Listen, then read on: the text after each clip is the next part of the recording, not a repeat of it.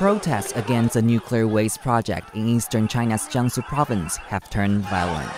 A local resident surnamed Hu told RFA that dozens of people were injured in clashes between police and protesters. Hu also cited rumors that two people, including a three year old child, were killed in the clashes. RFA was unable to confirm this report.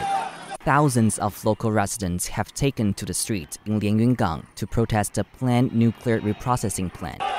Police used batons and pepper spray against the protesters.